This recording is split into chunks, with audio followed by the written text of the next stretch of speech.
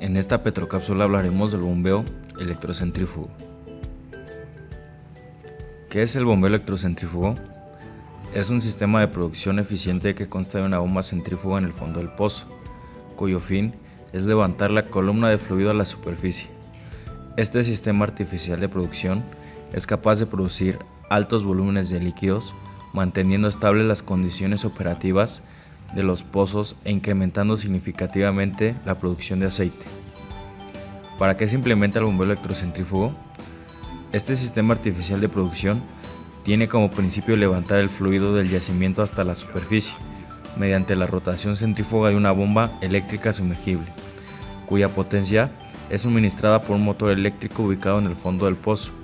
En la superficie se genera la energía eléctrica a través de motogeneradores y se suministra por medio de un conductor hasta el motor eléctrico de fondo.